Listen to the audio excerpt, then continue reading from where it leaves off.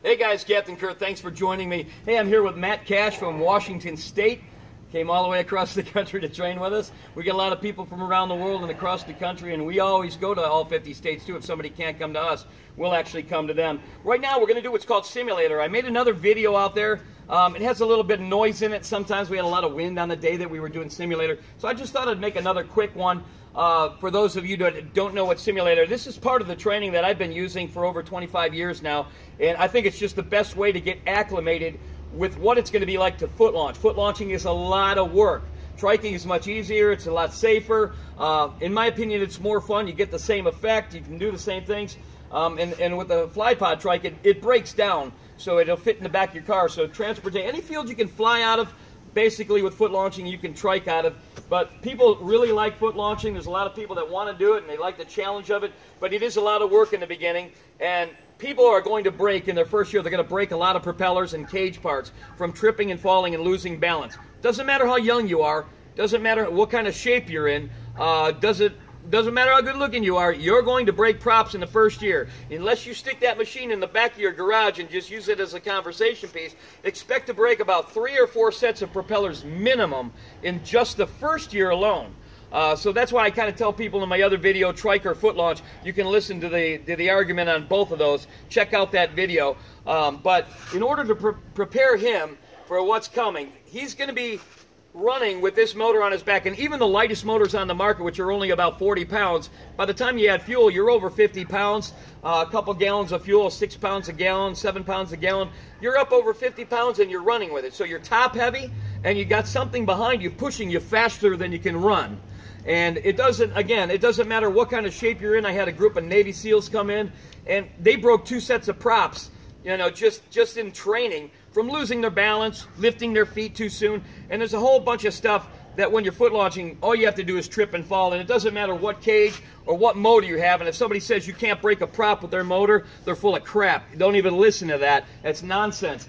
Everything is moving, the prop is spinning, and when you trip and fall, you'll push the cage right into the prop. This is T6 aircraft aluminum with a double ring cage, and it doesn't matter if you made it of spring steel, you're going to hit that cage against that prop. And then the other ones, to avoid hitting the cage, they put their props so far out past the the the cage that it's not it's not it's exposed basically. So then they then they have the opposite effect of sometimes when they have a failed launch as a newbie, they're cutting the lines on their on their on their wing. So it's a kind of a catch-22. But either way, you're going to break props, and and so we want to reduce that possibility of happening. Uh, sooner or later, it's going to happen. We, would like it later, uh, if possible. And if a guy can, I've never seen anybody that actually flies their machine that's a foot launcher go more than a year without breaking three or four sets of props. And then you start to get your balance, and pretty soon you know you're quick with the uh, kill switch to shut it off if things aren't going right, and you just start to gain the balance that you need. Uh, we do a couple things that help people prepare for their first launch. One is I have them spend a lot of time walking up and down the street with the motor running, letting the motor push them, getting acclimated with the weight, getting used to the throttle. Uh, the intimidation factor is one of the biggest things that's going to cause you to have a failed launch in the beginning because you're just nervous and you don't know what to expect. I assist people with their first few launches and then I start to wean myself out of the picture, making them do everything to set up, bringing the wing up themselves. But we're going to learn how to kite, learn how to control the wing. But in their first few, I kind of make it a little bit easier on them by helping them with the wing up. But a couple of things that I do to acclimate them with the what's going to be happening when he makes his first launch tonight is is to get him in this simulator so he can actually see what it feels like to be drawn off the ground. And I say drawn off the ground because a lot of people, when they're foot launching, uh, right when they start to feel the leg straps tighten up and the chest strap tighten up and the, the, the board against the rear end that's in the seat of this uh, uh, uh harness, they, they, they think they're there. They have a sensation of, that they're starting to fly, so they immediately quit running and they sit down. It's one of the number one reasons of guys at foot launch that they'll do that. The other thing is their poor posture of standing forward and leaning forward. And if you watch my other videos to look or not to look, or to break or not to break, you're going to see some techniques that I teach that the other instructors don't teach. If they did, they'd have even more success with their students. They wouldn't be breaking as many props, and they'd have a lot more success by body position and the way that they run and letting the motor do the work and looking at the wing, putting your body upright. But I have to, he's got to know how to learn throttle control. So this is going to teach a lot of things. He's going to learn throttle control how smooth he's going to give the throttle until he lifts off the ground. um, what it's like to get in the seat, how to come out of the seat when he's coming in for his landing, and uh, just to basically uh, see that the motor does all the work.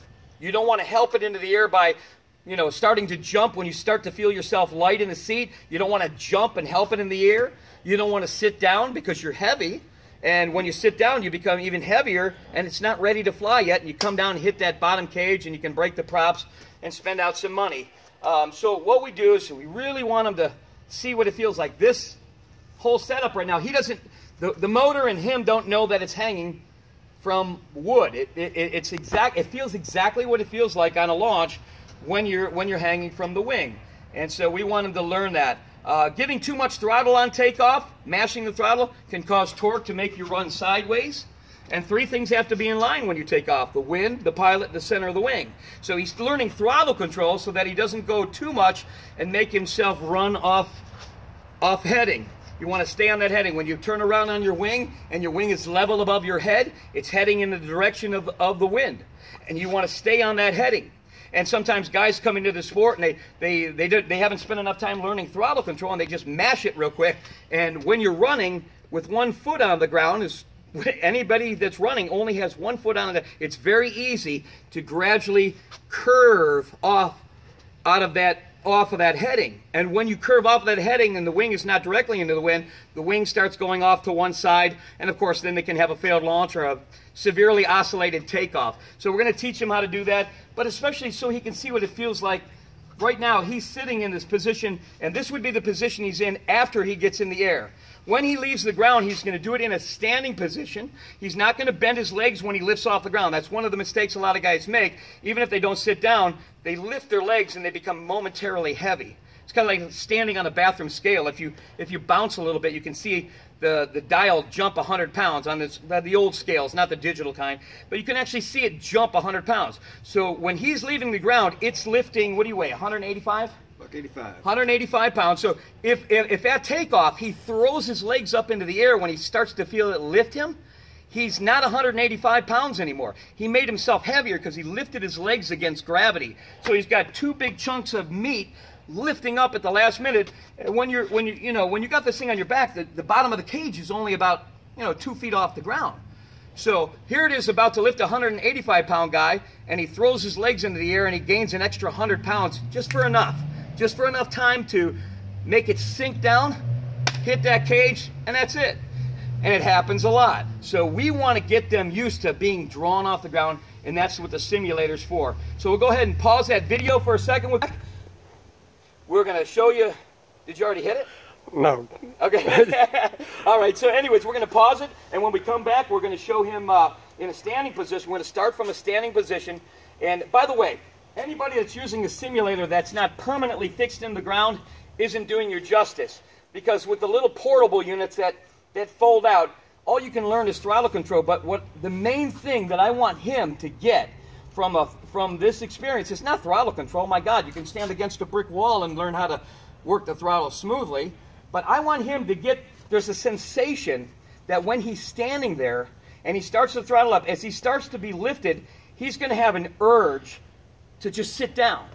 And it, it happens to everybody, and anybody that's foot launching will tell you this. He's going to have this urge, so we want him to know about that because it almost it almost takes over.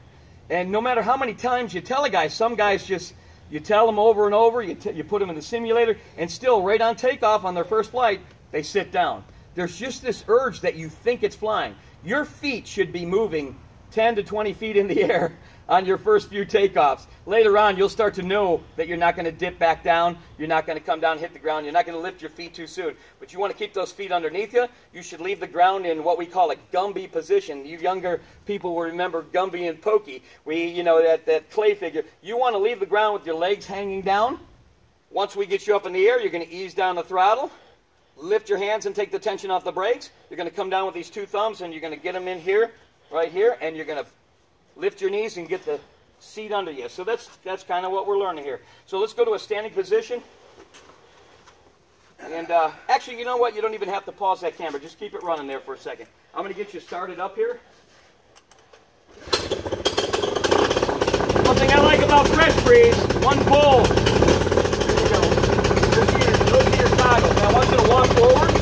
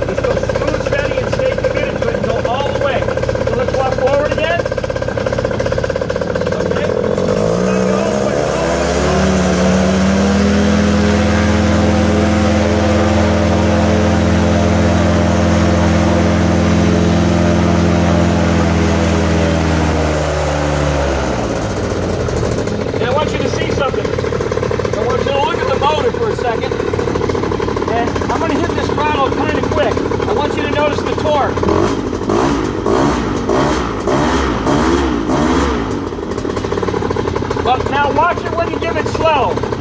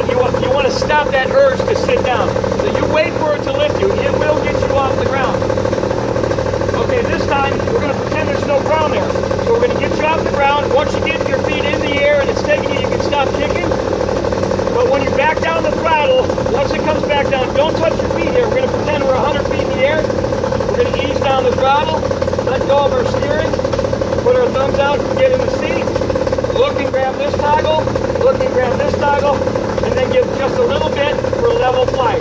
Once you're in the air, you only have to give it a little bit of throttle to stay in level flight. So we're going to go through the whole sequence of getting in the seat. Right now the seat is tucked up behind him, the harness is tucked out, and that will become his seat.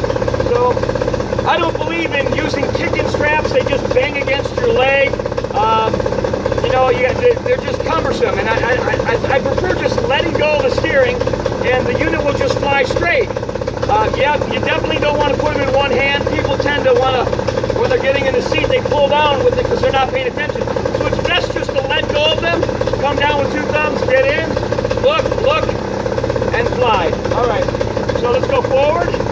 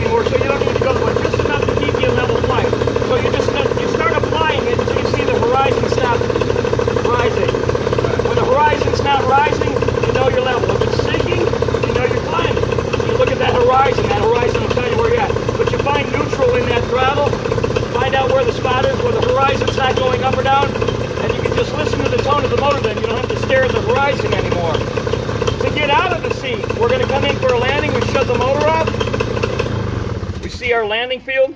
And to get out of the seat when we're coming in for landing, that's all we do is, is we straighten our body. So just straighten it. That's it. Just like that. And you're already out of the seat. You just keep your body straight. Now, we have the ground here, but when he's actually coming in for landing, he'll be actually able to stand a lot straighter. And he'll be a little bit angled, but as he comes in and he's about five feet off the ground, he's going to pull and push.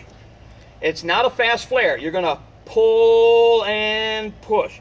When his feet get to about four feet, right at about four feet, pull and push. One of the mistakes they do on landings is they're coming in and they haven't done it before and they're looking down. And everything's moving real quick. You want to look out, look out ahead of you, so everything's coming at you slow. It's like driving a car down the road. If you look at the lines in the road way far ahead, you can focus on one. It takes forever to go past your car. But if you look out the window, the, the, the lines are going past so fast, and you really can't have any depth perception, and everything looks speeded up. And when they're nervous, if they're looking down here, they won't judge the distance between them and the ground. And you really want to, you don't want to apply those brakes until about the last four or five feet. You want to keep your airspeed up, and that all of that, all of that speed will turn into lift for their flare. And they really don't need to slam them down hard. They just pull nice and smooth, steady, and then land it. It's one, two, three, and then their feet touch the ground. At that point, if they want to make it look pretty and do it like a pro, though, one, two, three, when their feet touch the ground, they start immediately start walking forward and look up at the wing to see what it's doing. They'll turn around and face it, and they'll drop the wing down. I'm not so concerned with their first landing being you know, a perfect lay down or anything else like that. Um, but you don't want it to come down on top of you. So when you do land, look up at the wing, and if you have to, if it's still going that way, just step backwards and let it fall in front of you. It's not a takeoff, so it doesn't matter. But we'll learn to walk it off. If you want to keep you guys, if you guys want to keep your balance, you're wondering why you're not standing up when you land.